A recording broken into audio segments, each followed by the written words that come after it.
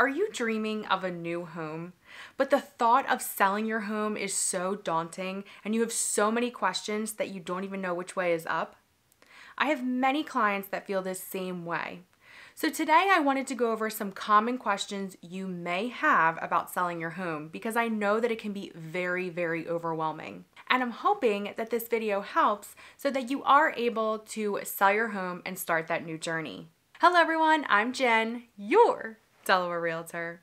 So the absolute first question that you should be asking after you decide to sell your house is how do I find a reliable real estate agent that I trust to help me sell my house? Finding a reliable real estate agent is a very important part of a successful home sale. You can start by asking recommendations from families or friends, or by even looking online. After finding potential agents, I recommend setting up interviews with each and every one of these agents. You can get a feel for their personality, their experience, and their fees. Here's some advice I have when looking for a real estate agent. 99% of buyers start looking online before they go looking at houses. So, is that real estate agent up to date on video and photo? Are they utilizing these things to market your home? Also, are they up to date on social media? Most buyers are on social media. So they're looking at Facebook, they're looking at Instagram, they're looking at YouTube. They could even be looking at TikTok for a potential home. So it's very important to keep up to date on these trends. Also, do they understand the market? Can they answer the question of how is the real estate market? That is super, super important to understand and know. This is a huge asset of yours, so it's important to pick a real estate agent that you know, like, and trust. Okay, so now you've found your real estate agent. And I'm assuming your first question before you even asked about the real estate agent was how much can I actually sell my house for? Determining the value of your home is a very important step because you never want to overprice yourself right out of the gates.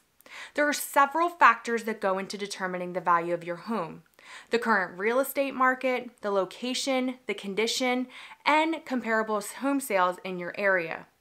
By working with your realtor, they can provide all of this information for you.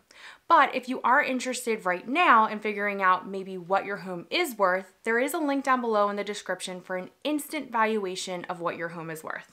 It's important to keep in mind that pricing your home is a tricky balance because you want to attract as many potential buyers as possible, but you also want to get a fair price.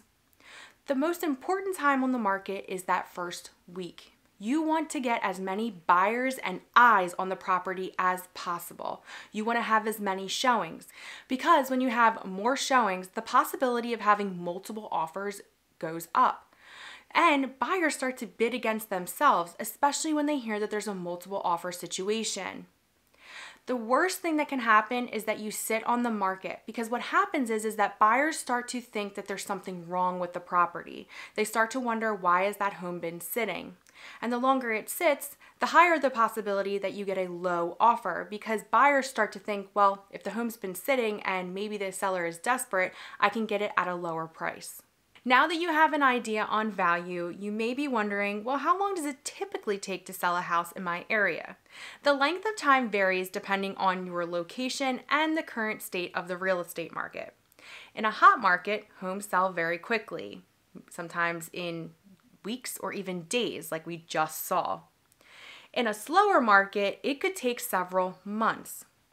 Your real estate agent, who should be up to date on real estate trends, should be able to give you all of this information and give you a, an expected and realistic time on how long your home will be on the market. I hear this next question so often, and I see so many people make the mistake of doing too much before consulting their realtor. The question is is should I make repairs or renovations to my home before putting it on the market? Many repairs and renovations can help to get in more potential buyers and help the value of the home. But it is so important to talk to your realtor before doing these repairs or renovations. And let me just repeat that one more time. I'm going to get really close because this is so important. It is so important to talk to your realtor before before doing these renovations or repairs. I have seen so many people do way too much before talking with me. I've gone to multiple listing appointments with they have a laundry list of all of the things they're either going to do or they have already started. And I could have saved them so much money if they would have just talked to me before. Because in the current real estate market, especially in last year and the year before, you actually didn't have to do too much because there's such a low inventory that buyers were willing to take a home that maybe needed to be painted or maybe needed like the floor was chipped or something and they were willing to just buy the home as is instead of you making those repairs. I would rather see you put that money into maybe your next home or maybe even curb appeal because ultimately what you're trying to do is get as many buyers in the home as possible. So while you may be worried about the paint chipping on the wall, for example, or even that you want to change the color, I'm more worried about the fact that your flower beds may need some mulch or your flower beds may need some flowers just to get more curb appeal to bring the people in. So it's very important to have a discussion with your realtor before you make these renovations or repairs. All right, so there are a few documents that you will need to fill out prior to listing. If you are listing with a realtor, you will need to fill out a listing agreement that is with the brokerage, and in Delaware, it is required that you fill out three disclosures. That is the seller's disclosure, the lead-based paint disclosure, and the radon disclosure.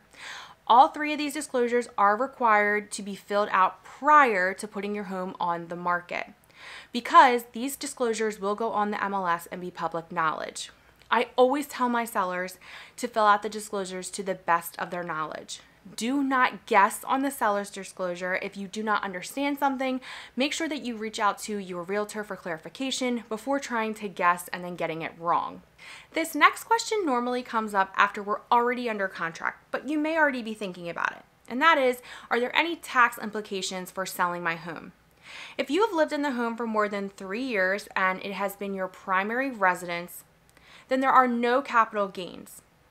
Before settlement, you will receive a form from the attorney's office, and that is a 5403 tax form.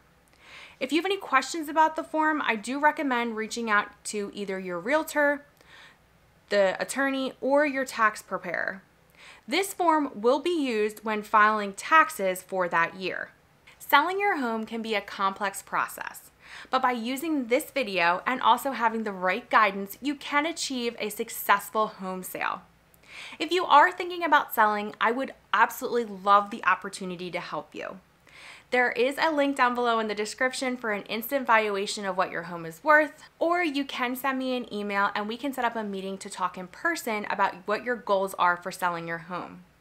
I really hope that this video helps. If it did, be sure to give me a thumbs up. Be sure to subscribe to the channel so that you never miss a new video or any Delaware content.